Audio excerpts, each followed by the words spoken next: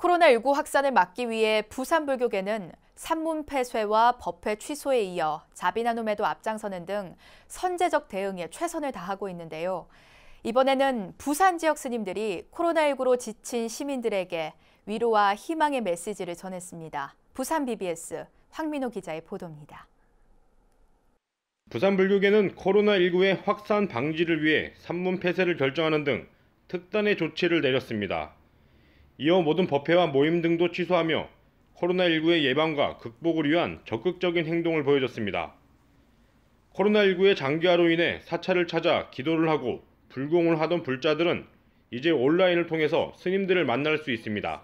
궁금하기도 하고 뭐 보고 싶기도 한 마음이야 참 스님이나 신도님들이나 꼭 같지 않겠나 생각하고 있습니다. 하루 빨리 온 어떤 일심된 마음으로서 이 코로나의 난국을 헤쳐 나가서 밝은 약사열의 유리강 부처님의 그런 자비광명 속에서 하루빨리 우리 모두가 툴툴 털고 웃음 띤 얼굴로 코로나19가 장기화되면서 시민들은 외출을 꺼려하고 집안의 활동을 이어가다 보니 몸과 마음이 많이 지친 상태입니다.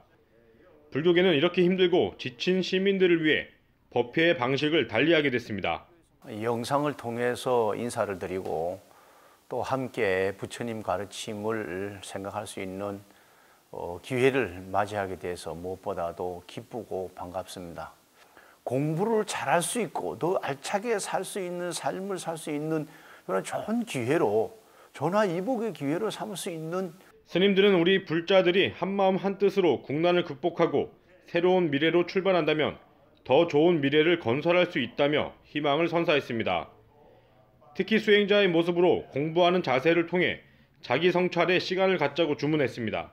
이 어려운 시점에 다 함께 합심해서 내일의 희망을 노래하는 그런 불자로서의 참 의연한 자세를 잘 간직하면서 부처님의 불전을 향하는 참 불자로서의 신심이 더욱 이번 기회로 돈독해 줬으면 좋겠다 하는 코로나19로 인해 시민들의 얼굴엔 주름살이 깊어지고 있습니다.